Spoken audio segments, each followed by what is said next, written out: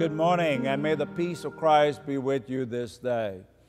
You know, a lot of people either do not believe in God or stop believing in God because they feel that God is not loving and compassionate. And one of the things that is brought up is why does He allow destruction and bad things to happen? And yet, the scripture assures us that God, particularly in the midst of suffering and disaster, is very much present.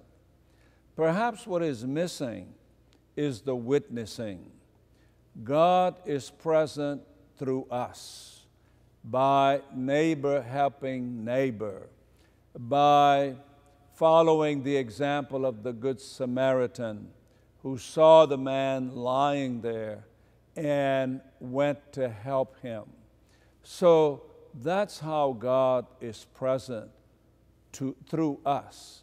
And through our witnessing, then we can show that indeed God is present, particularly in destruction and suffering.